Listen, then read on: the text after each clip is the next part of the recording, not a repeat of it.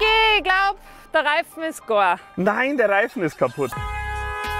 Raus, raus aus dem Auto. Ich will dich nie mehr da drin sehen. Uh, haben wir gut gearbeitet? Ja, ich, fürch, ich fürchte schon.